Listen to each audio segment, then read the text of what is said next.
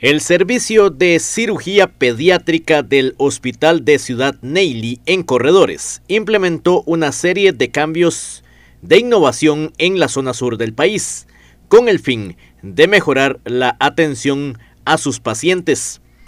Tal es el caso de los procedimientos quirúrgicos de forma laparoscópica para reparación de algunas hernias, como las localizadas en la zona de la ingle. Según explicó la cirujana pediátrica con la técnica anterior, se hacía una herida abierta que a veces iba de 3 a 4 centímetros. Ahora, con esta cirugía laparoscópica, se hacen entre 2 o 3 incisiones de medio centímetro cada una. Son novedosas hasta cierto punto en la especialidad de cirugía pediátrica y que se ha demostrado que dan buenos resultados a los chiquitos.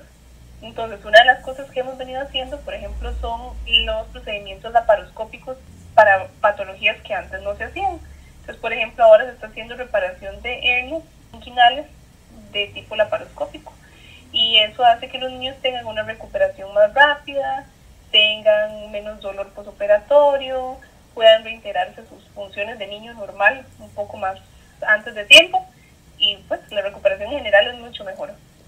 Entonces, anteriormente la resolución de muchos de esos procedimientos era con una herida abierta que a veces iba de 3 a 4 centímetros, una intervención mucho más grande.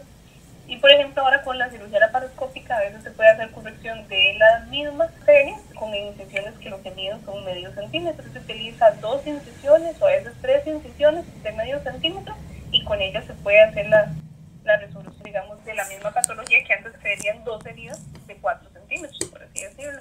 Además de la puesta en marcha de esta técnica quirúrgica, el Servicio de Pediatría habilitó una sala de procedimientos para tratar quemaduras en los infantes, que implicó el acondicionamiento del espacio físico y compra de insumos. El Hospital de Ciudad Neily brinda cobertura médica a todos los menores que residen en la zona sur del país. Por eso, gracias a la habilitación de esta nueva sala de procedimientos, tendrán una atención cercana de sus hogares, con insumos y equipo de primer nivel.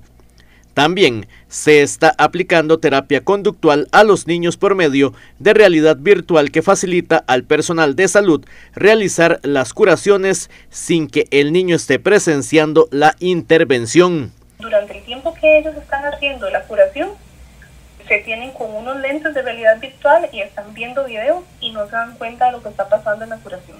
En otros casos, pues se tienen que administrar medicamentos para el dolor o medicamentos para sedación si son quemaduras muy grandes o que generan mucho dolor.